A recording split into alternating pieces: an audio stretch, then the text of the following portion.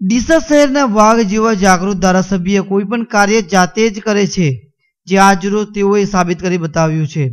આવનારી સાત તારીખના રોજ સીએમ વિજય રૂપાણી ડીસા આવી રહ્યા હોય ત્યારે ડીસામાં આવેલ શમશાનને એક નવો ઓપ આપી રહેલ છે. ત્યારે તેની સંપૂર્ણ દેખરેખ ધારાસભ્ય જાતે કરી રહ્યા છે.